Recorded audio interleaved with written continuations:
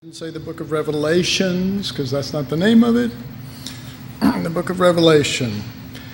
And we are in, um, where are we? Chapter 2. Yeah. Chapter 2 in verse 18. And we actually had gotten about halfway through Thyatira.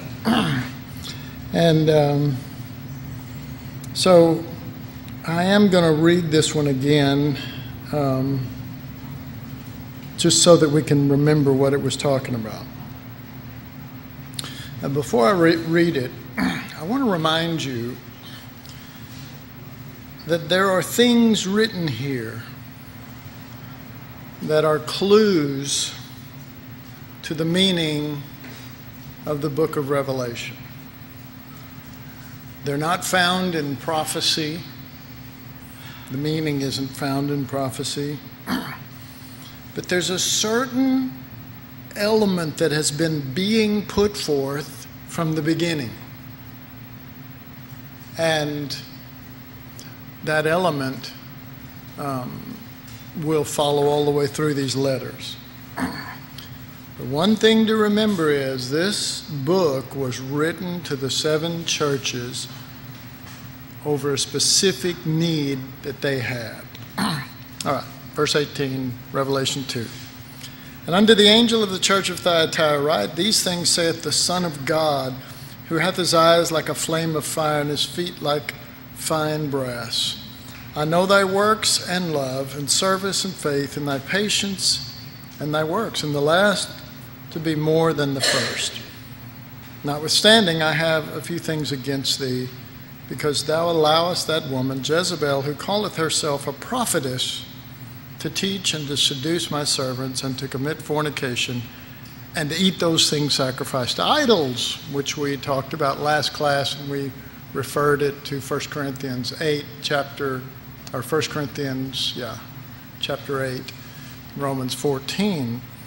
And I gave her space to repent of her fornication. She repented not. Behold, I will cast her into bed, and them that commit adulteries with her into great tribulation, except they repent of their deeds. And I will kill their children with death, and all of the churches shall know that I am he who searcheth the minds and hearts. I will give unto every one of you according to your works, and unto you I say, unto the rest in Thyatira, as many as have not this doctrine, and who have not known the depths of Satan as they speak, I will put upon you no other burden, but that which ye have already hold fast till I come. And he that overcometh and keepeth my works unto the end, to him will I give power over the nations, and he shall rule them with a rod of iron. Um, as the vessels of a potter shall they be broken in shivers, even as I received of my Father. And I will give him the morning star. He that hath an ear, let him hear what the Spirit saith unto the churches. All right. Again, you have the he that overcometh. And um, it will be later on in our lesson that we begin to recognize the full meaning because the meaning is tied with several other things to give a broad picture of what the Holy Spirit saith to the churches. um, also, if you'll notice here that it talks about um, the depths of Satan. Wow. The depths of Satan. Um, anybody remember um, in Pergamum, the one before this, that it talked about that they dwell where Satan's throne is. Okay, so here these guys are have the depths of Satan that they're having to deal with. Pergamum dwelt where the throne of Satan was, and Smyrna um, was dealing with blasphemy and those of the synagogue of Satan. Uh, now that's that's a lot of devil there. It's a lot of the enemy. And, and yet, and yet, this is all very significant in a good way. and uh, we're not quite there yet. But it is all very significant that these are the situations that's going on. And of course, we did allude to the fact that most Christians, their theology is that everything has to turn out wonderful and you always have to be on, on top and triumphant and in victory and, and uh, you really should never have any problems and you should walk above all the problems and, you know, stuff like that. And, and I, you know, just off the cuff here, I say if that's the case, then you're never really going to learn Jesus. You know, you're not going to learn him. You might learn about him, but you're not going to learn him. um, so they're assailed with those problems. That, uh, let's see. Um, they have allowed Jezebel to teach and to seduce. Uh, it is in relationship to the depths of Satan. And the answer is again, he that overcomes. All right, now again, the reason why I'm taking the time going through these churches is because uh, I, and I've, I've held this before the Lord before every double class when I come before in prayer. And I believe that the way that the Lord has given me to teach this is going to really open up like a flower once we get to a certain place.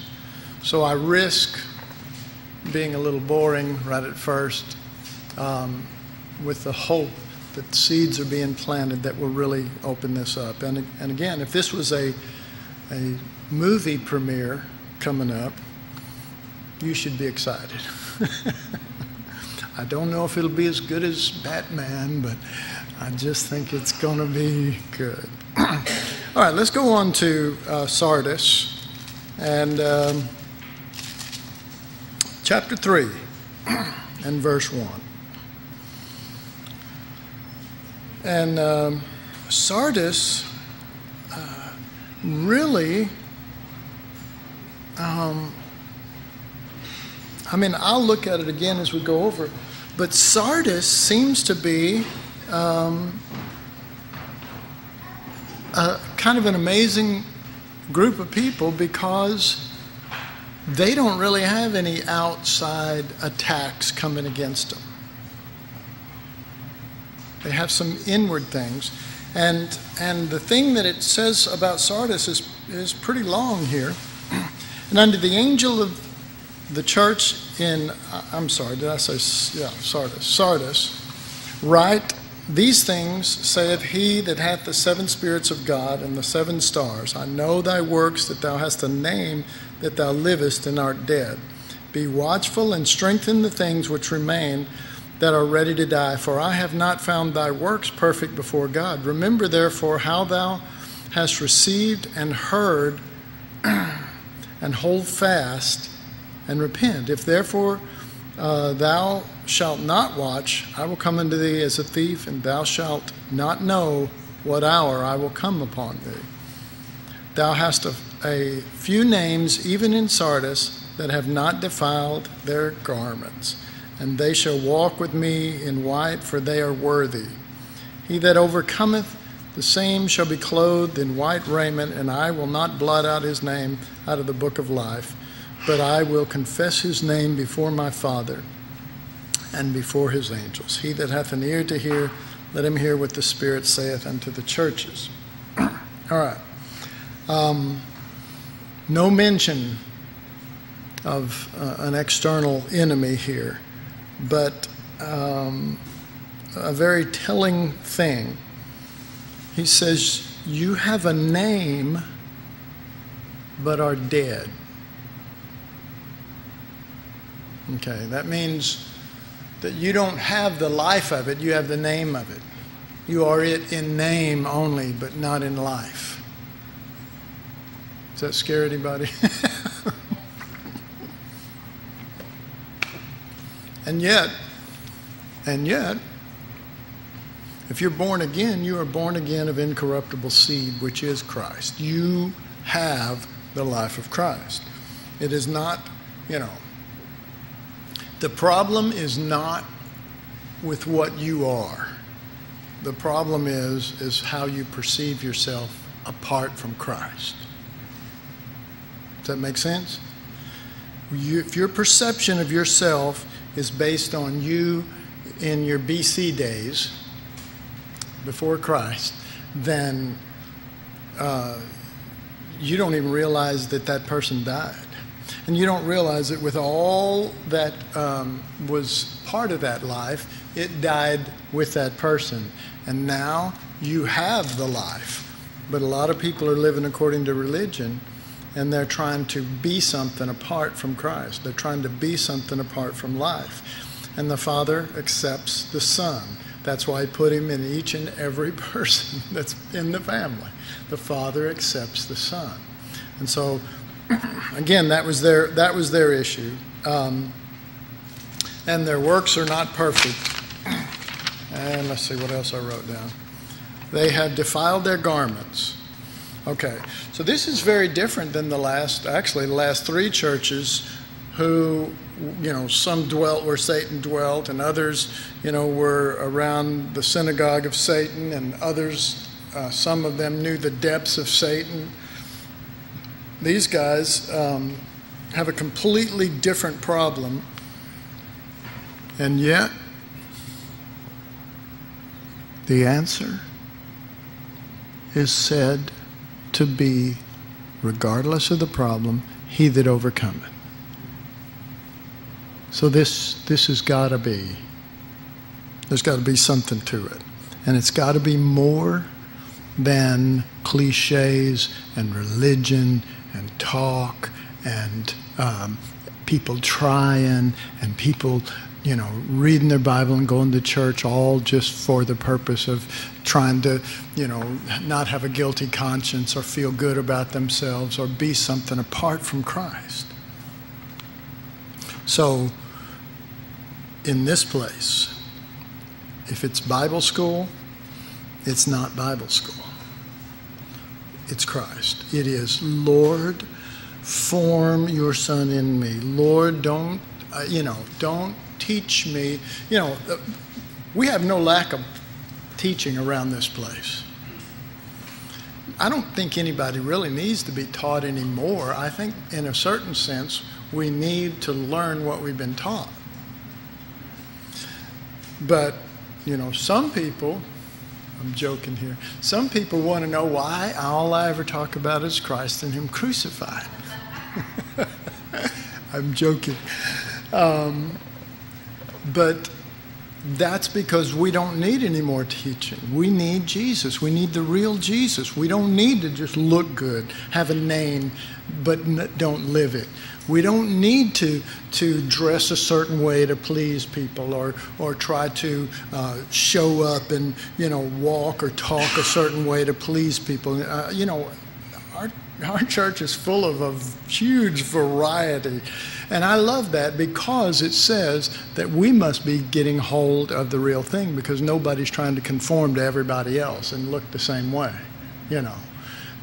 and um, when it's all said and done, folks, we're all going to be before Jesus. That's it. So the question is let's be, you know, can we be before Him now? You see what I'm saying? I mean, people going, oh, I can't wait to get to heaven be before Jesus. You can do that now. My God. You can have your heart right there. You can, you know, you can be shouting glory to Him right now, sitting right where you are, silently glorifying the Lord and just so glad that He's brought you into oneness with Himself and, and uh, is showering you, not just here in these classes, but showering you with the truth. Um, but when you when you get out into the system, and I, this time I'm not talking about the world system. This isn't the hippie Randy talking here. this is the, the Jesus Randy talking here. You get out in the religious system, and it will affect you because it uh, breeds something. It breeds something. And it does it um, without, um, like, for example, here we encourage you to keep your heart after God no matter what, up, down. Just stay after the Lord no matter. You fail, get up and keep your eyes on Jesus. You know, some some churches teach if you sin, if you fail, that's it. You know. The you know, God doesn't want anything to do with you. How utterly stupid. The one person that you should go to and go to freely and come boldly is the Lord. And yet they're telling you God doesn't like you, doesn't love you anymore. It's over with until you get right. And you, well, you can't get right before you come to Him. He's what being right is, you know.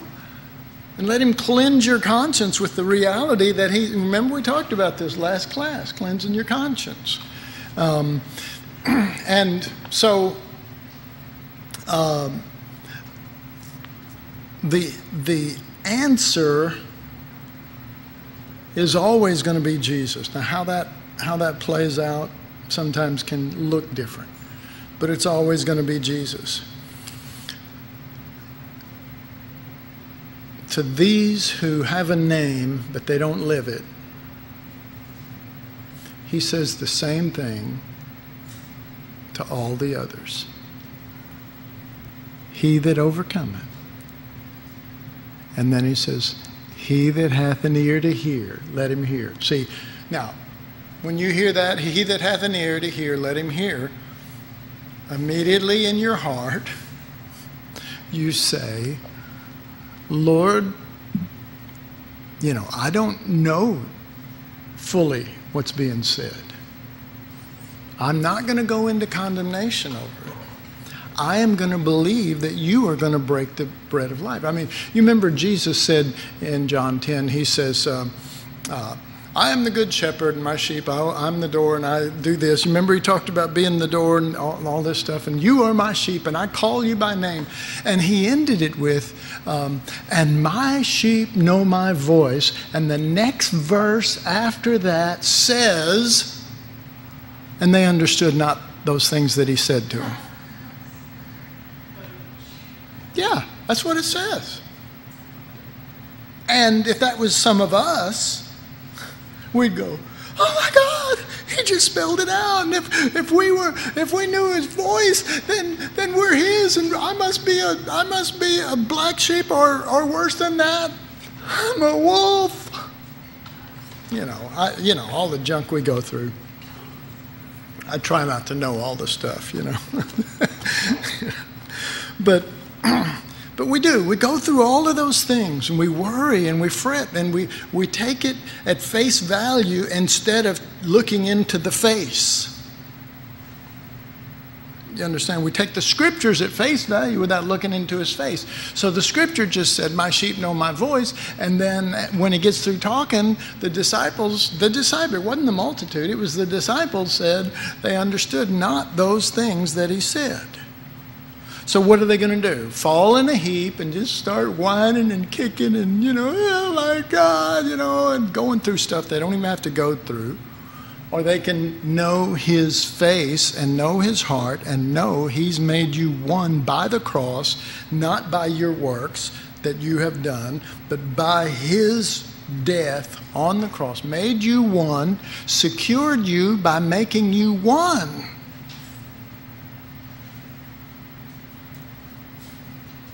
Settling it in his heart, rising from the dead with you in him and with him. And then we go, oh, I didn't understand what he was talking about. Oh no. And we start going through mountains of stuff that we that it's just, you know, it's it's a waste of time. I don't want to say it's foolish because in the in my heart and as a, as a shepherd, I know that that's hard on people. And I don't want anybody to go through that. And I don't want to join in and berate those who go through it. But on the other hand, it really is a waste of time. You're already one. You walk in that throne room and act like you're one, and he'll act like it back. Prodigal son, remember? We're talking. Okay? So, all right, let's move on to Philadelphia. Now, this, this church at Philadelphia is spoken of the most highly of all of them. Philadelphia means brotherly love, city of brotherly love. Now, I don't really think that Philadelphia here in the United States is that way. At least the Eagles fans aren't.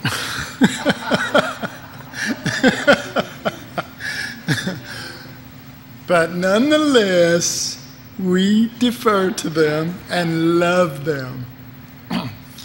She's full of brotherly love because of Christ. That's why she likes the Cowboys too. Right, Izzy? Uh oh, there it goes. See? There you go. It just depends on which city you're just teasing. All right, let's read. Um, and to the angel of the church in Philadelphia write, These things saith he that is holy, he that is true, he that hath the key of David, he that openeth, and no man shutteth, and shutteth, and no man openeth. I know thy works. Behold, I have set before thee an open door, and no man can shut it, for thou hast a little strength, and hast kept my word, and hast not denied my name. Behold, I will make them of the synagogue of Satan. There's again a mention of Satan. synagogue of Satan, who say they are Jews and are not, and do lie. Behold, I will make them to come and worship before thy feet, and to know that I have loved thee. Because thou hast kept the word of my patience, I also will keep thee from the hour of temptation, which shall come upon all the world to try them that dwell upon the earth. Behold, I come quickly. Hold that fast which thou hast, that no man take thy crowns. Him that overcometh will I make a pillar in the temple of my God, and he shall go no more out.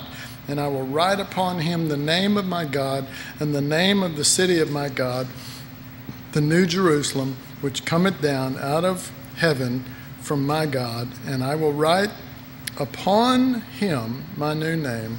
He that hath an ear to hear, let him hear what the Spirit saith unto the churches. All right. So he says to those of the city of Philadelphia, I will write my the name of my city on you, which is New Jerusalem. So he's saying you need to leave the city of Philadelphia and Kidding again, just teasing Ezzy. But, but let's face it, brotherly love, the word in, in Greek is phileo. God's word for love is agape, and phileo is where you get that kind of love. It's a soulish love. It's not Christ because God is agape. God is love, right? It's a different, there's a difference there. And in truth, the spirit of this is, is that he does want them to leave that city and he's going to ride upon them New Jerusalem, which is what? Another city? It's the bride of Christ. And you see that towards the end of the book. And no need explaining that right now, but it is another heart. It's a whole other thing. It's not just loving your brothers or your sisters or stuff like that. It's, first of all, loving the Lord so much that we join to Him, so much that what He is, we become. That's what bride is. Um, and so, um, the only real problems it says is that uh, that you have a little strength. But I don't know that that's a problem because there's another, another word for having a little strength, and it's called being weak. Anybody remember anything out of 1 Corinthians, the first chapter? That he hath chosen the weak things of the world to confound the wise, and that um, uh, that the weakness of God is stronger than men. Okay. Oh, so, um, and then um, uh, again, they have um, this situation, which uh, one of the others, and I don't remember which one it is right now, but they're being assailed by those of the synagogue of Satan. And it's funny because in both of my notes, my last two ones, when I wrote down the synagogue of Satan or the depths of Satan, I wrote down, and I typed it up, assailed by the synagogue of Stan. So if you run into a guy named Stan, look out.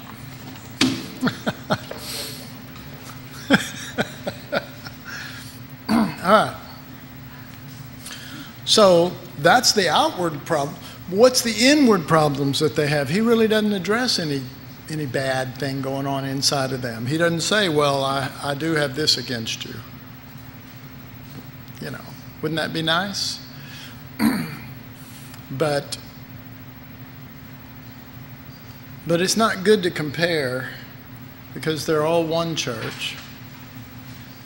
And even if you have stuff wrong, that can be the diving board, the platform for growing in the Lord. You know, you learn more in a crisis than you do in blessing. That's just a fact. That's just a fact. You know, you'll learn more of the Lord. You know, that is if your heart's towards the Lord of that. And if it's not, then you're just sailing along.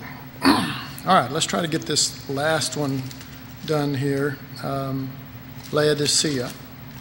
And we'll finish out the chapter also. And unto the angel of the church of Laodicea, oh, by the way, the, the name Laodicea means people's rights. Dun, dun, dun, dun. and unto the angel of the church of Laodicea write, These things saith the Amen, the faithful and true witness, the beginning of the creation of God. I know thy works, that thou art neither cold nor hot. I would that thou wert cold or hot. So then, because thou art lukewarm, and neither cold nor hot, I will spew thee out of my mouth, because thou sayest, I am rich and increased with goods, and have need of nothing, and knowest not that thou art wretched and miserable and poor and blind and naked. I counsel thee to buy of me gold tried in the fire that thou mayest be rich, and white raiment that thou mayest be clothed, and that the shame of thy nakedness do not appear, and anoint thine eyes with eye salve, that thou mayest see. As many as I love, I rebuke and chasten. Be zealous, therefore, and repent. Behold, I stand at the door and knock. If any man hear my voice and open the door, I will come in to him and will sup with him, and he with me. To him that overcometh will I grant to sit with me in my throne, even as I also overcame and am set down with my Father in his throne. He that hath an ear to hear, let him hear, what the Spirit saith to the churches. All right. So, uh, he doesn't really mention outward problems here. It's all this inward thing. Neither hot or cold, they're self satisfied, naked and blind, it's interesting how it's worded in verse 17 because thou sayest, because thou sayest. Um, you know, there's some churches that, you know, you, you try to confess everything into existence. And I believe there's some, I believe there's merit. I don't believe it, there's magic, but I believe there's merit in saying what the Lord says. And the word confess is the Greek word to say with, to say with God what God says. We say, okay, I got to confess, you know, and, you know, Catholics, oh, I got to confess, meaning I've got to tell somebody everything that's wrong, everything I've done, thought, or, you know, plan on thinking.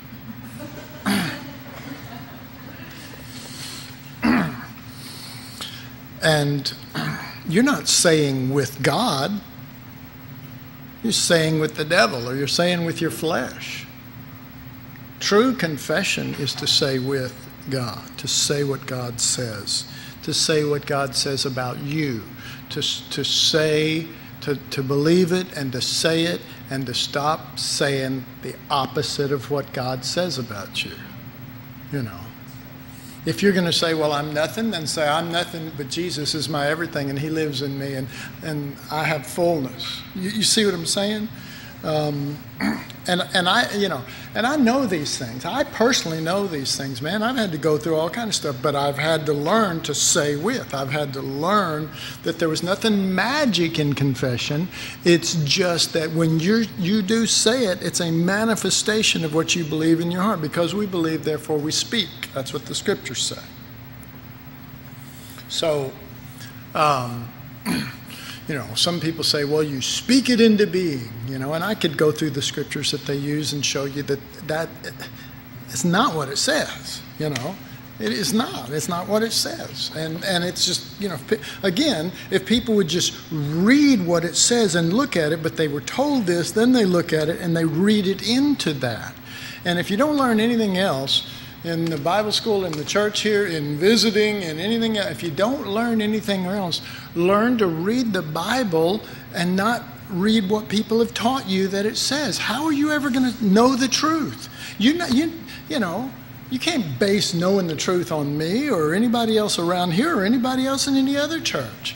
You know, I do my best to point you to the truth, but I got news for you. I, I am not batting a thousand. I, I don't, I mean, I am not. I know that everything that I think right now is the truth is not necessarily the truth. But I got sense enough to point you to Jesus, to point you to the Holy Spirit, because He knows the truth. But the difference is someone might do that in some other church, but but I want to make sure that I follow up with now do it. You know what I mean? Now do it. When you leave here, spend some time in the Word. You know, what I do, honestly, what I do is I just, I don't try to read real fast. I mean, when I was first born again, I would go, oh, I'm going to, I read the whole book of, you know, um, Leviticus in one afternoon. How much do you remember of that? You know. Well, something about killing something, you know, in a fire. Uh, I, I, don't know. Yeah. Man, I would rather read five words, take my time, and have, you know, as I do, have the Holy Spirit, who is my teacher. Uh, he's in me, but I always feel like he's like right here looking over my shoulder going, you know, I'll read and he'll go, ah, you just read over something. I go, what? I'll read it again. I go, there's nothing there. and he'll go, ah, I look a little closer. You know, and he doesn't say these words, but it, that's what he does with me. And, and I'll go, oh my God, look right here.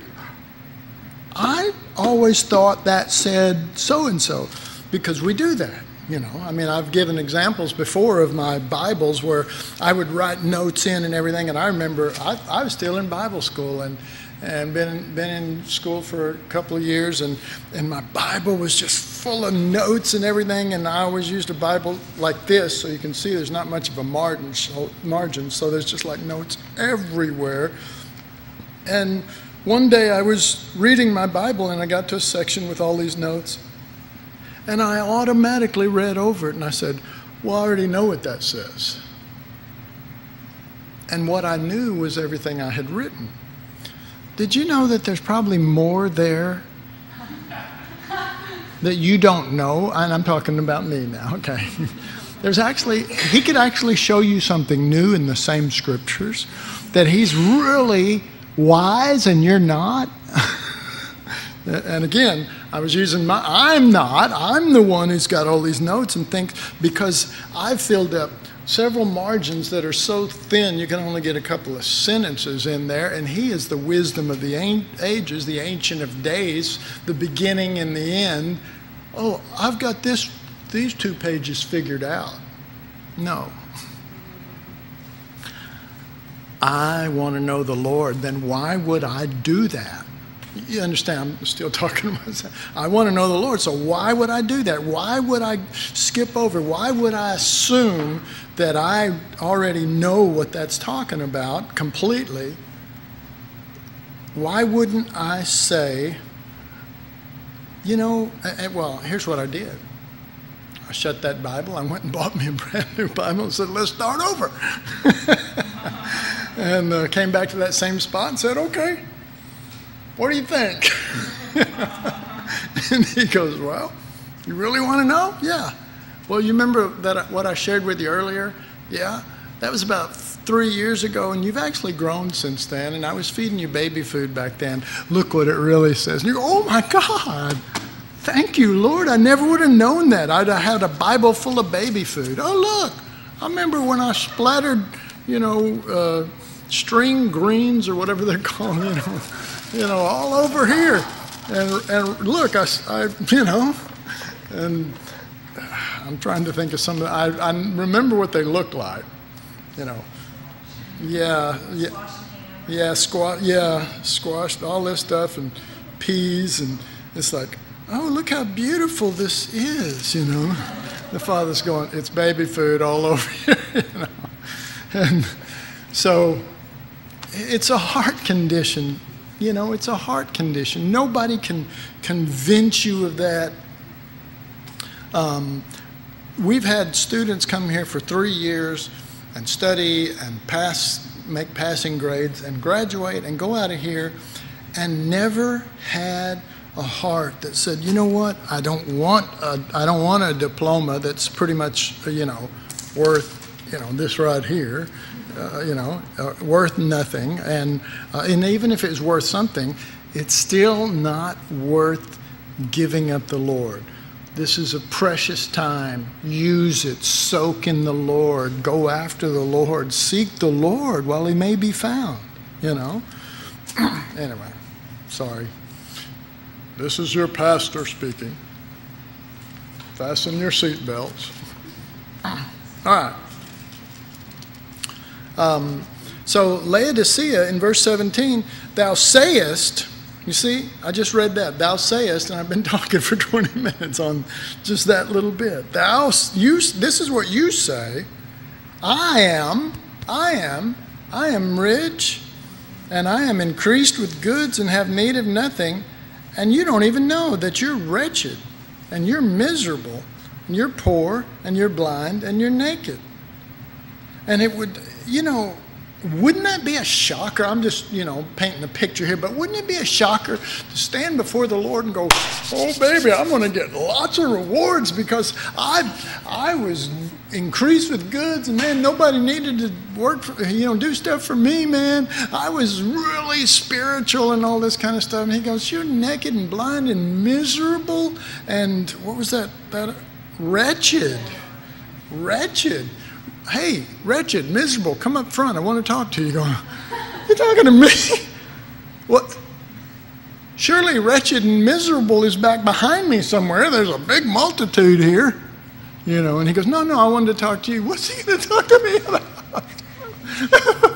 you know, calling me that. All right. So how do, how do you how do you keep that from happening? First of all, it's a combination of two things. In myself, I am wretched and miserable. As one with the Lord, I am one with Jesus. I am considered one with Him. Now, the balance of that keeps you humble and hungry because if you just go, well, I'm the son of God, I'm one with the Lord, and I'm I'm a new creation, and I'm I have need of nothing, and I'm rich. Oh my God, I'm quoting this right here, and that's I've heard Christians say that stuff. You know, we have need of nothing. You're rich. You know, and you go, you know, if you're talking about earth and all of that stuff, no, you're wretched and poor wretched and miserable. Okay, so that one part um, keeps you, I'm going to say it like this, but it's a good, I mean it in a good way, keeps you needy because you, always need the Lord. And yet you're always getting the Lord. And yet, you know, it's like, okay, well, Jesus is enough, but I can't get enough of Jesus. You know what I'm saying? That's a good way to look at it, isn't it? Let's write that down. Everybody write that down. yes. we're the Lord, there's always a sense of a real deep lack all the time in us, whether it's seeing what's not Christ or being reduced to ashes or something, because ultimately the life of Jesus isn't me being rich and having all goods. Ultimately, it's for others anyway. I don't think we're always aware of the life that's going out when we're staying in that place and we're unaware that that's the way God works, we'll try and get out of that place. That's how that's a failure to be needy and wretched and miserable, Right. but it's really the state out of which Christ lives, Sure. you know, all the time. Right. Paul said, When I am weak, then am I strong, because his strength is made perfect in my weakness. Okay, so it's just an amazing balance of those things, and yet it's a conundrum, and yet it's, you know, it's all of that. But it's, it's good to know that you're weak as long as you're turning and trusting in the Lord. You see what I mean? And it's good to know that you're hungry because you know that the Holy Spirit is going to feed you regularly. But, you know, it's like after you eat a big meal, you're not hungry. But wait a little while. You'll, you know, you'll be hungry again. You go, I'm hungry for Jesus. You know, I just, he shared some great stuff with me, but you don't go, well, I'm going to live off of that, that supper that I had for the next three months. You know, well, how's that working for you? Well, that's what the church is doing. You know, um, three meals a day is healthy. you know, I mean, it, but I mean, just think about it. Isn't it strange that God made us to have to eat several times a day? Every day of your life, hunger is part of the deal. Well, that's a physical manifestation of a spiritual truth that you're supposed to maintain a certain level of hunger. And in fact, um, if you're eating regularly, then it's not going to be starvation hunger. You know, I mean, I, you know, I've I've gone to places during conferences eh, for conferences in different places, and and people, you know, I, I've been there several times, and somebody will come up to me and say, "Oh my God, that was so good! What you just shared." Says, "Man, I'm so glad you're back here sharing again. I've been starving to death." And I said, "You know, don't you have a Bible? You know, don't they don't they don't sell those up here, you know, or something, you know." Don't depend on someone to feed you. You see, that's a trap. It's good to get fed. A shepherd leads you to green pastures, but you have to eat. You know what I mean? and uh, it's a, it's just a trap. I mean, there's a purpose for you know apostles and prophets, evangelists, all that. There's a purpose for all of that, but it is not to um, you know get a big old comfy chair and set you in it and then just feed you until you're so big the only way you could move is with a Hoveround. You know.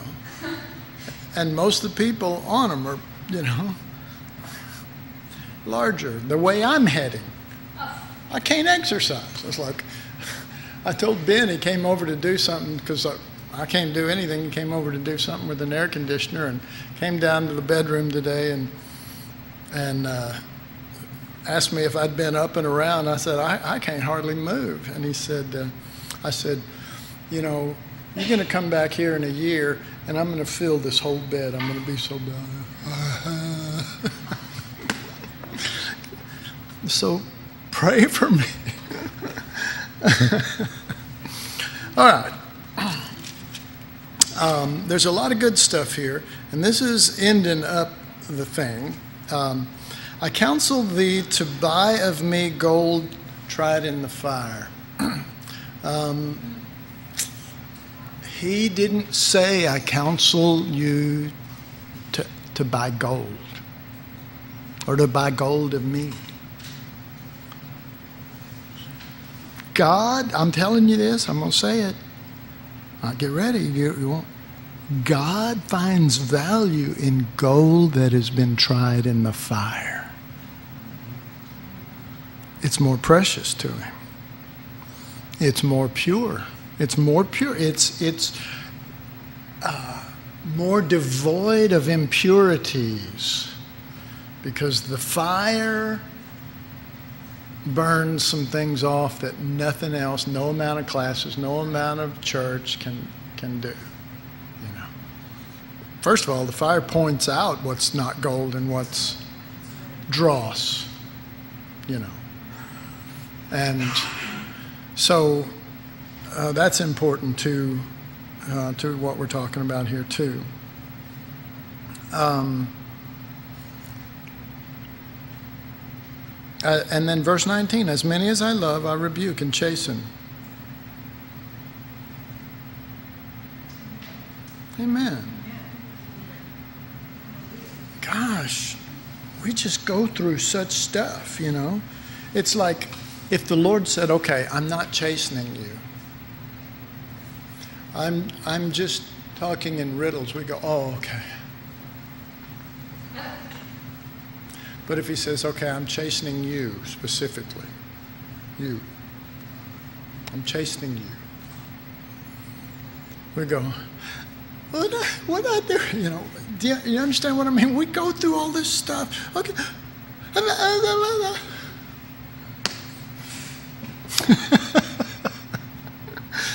and um, um, but what if he said, "Okay, I'm loving you." Say, well, don't feel like I am. I'm loving you. You are? Yes, I am very much loving you. Really? Really? Can I get a hug? No. I'm loving you right now.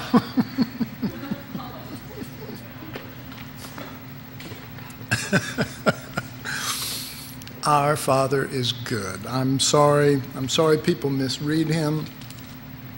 Um, I can't imagine what that must feel like. but our Father loves us. And He loves us enough um, to want us to function as one with Christ. He loves us enough to take us to Calvary. You know. There we go. See. Now we're scared. Now we're off. Now we don't understand what that means. And every word melts away because we don't understand God. We don't understand His heart. And only time and, and situations and the Word and the Spirit of God, only that can bring us to a true place of knowing Him and not knowing Him by what we perceive to be, you know, negative things. All right, so you're just going to have to trust the Lord and keep going. That's all I can say. All right, and then verse 20 Behold, I stand at the door and knock. And most of you know that that door is the door of the church. Remember in the first uh, chapter, he was in the midst of the seven candlesticks, which is the seven churches. You remember that? He was inside. Now he's outside knocking to get back in. And that's sort of what's happened with the modern day church. Jesus, they understood in the beginning that it was about Christ in you. They understood that and they lived by it and they taught it and it was exciting and it spread and, you know, all that kind of stuff. But nowadays, to teach Christ in you, to teach the cross, that's just almost unheard of. And so they think you're strange because you're teaching something weird when in fact Jesus is knocking, trying to get back in where he belongs, where he wants to be. And we're looking up in the sky going, Oh, Jesus! You know what I mean? Oh, wherever you are, we're Jews again. Because the Jews, he was far away. We're just Jews. No, you're not. Yeah, you're far away. I hear a voice, but I don't know where it's coming from. He's in you. I tell people, you need to turn up the volume on your still small voice.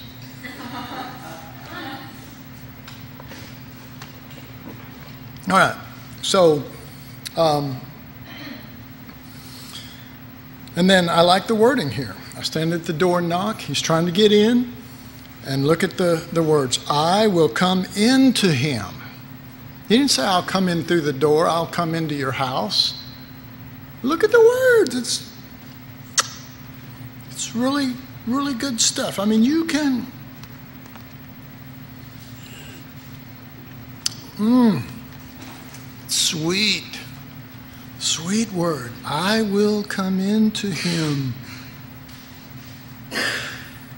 Not, I will just come to you, or I will come back in the clouds, or I'll walk through the door of your heart, like we think, you know. Jesus, here, Jesus is not knocking on the door of your heart to come in so that you can get saved. That's the way this scripture is most commonly quoted. Behold, I stand at the door and knock, an altar call. And Jesus is knocking on the door of your heart. No, he's knocking on your church, buddy. He's knocking on your heart. He's knocking on this place. He wants to be located inside of you. I was really thankful in Houston because of the language difference. I can't always nail it like I want to. Not that I can in English, but I, you know, it's even harder in Spanish. And um, um, at the very end, just before I was going to preach the last time, um, I was just desiring a, clearer dividing, and, and Patty got up there, and they, he invited, the pastor invited Patty and Mike up there, and, you know, they talked and stuff, and, and then Patty, because she knows the language, she just divided it, and just, to me, it was like opening the Red Sea for him, you know, or the, or the Jordan, it's like, yes! It was good. It was really good. um,